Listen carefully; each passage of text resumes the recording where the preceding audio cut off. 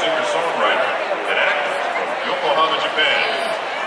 Her diverse musical and multi-language skills are making an impact globally. Last result, Crystal Kay. She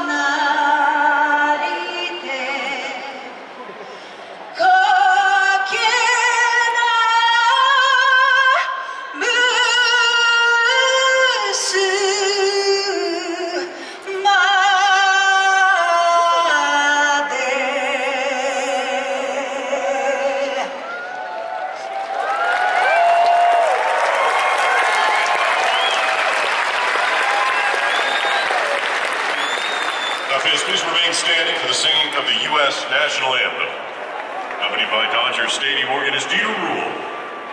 Please welcome once again, Crystal Kay.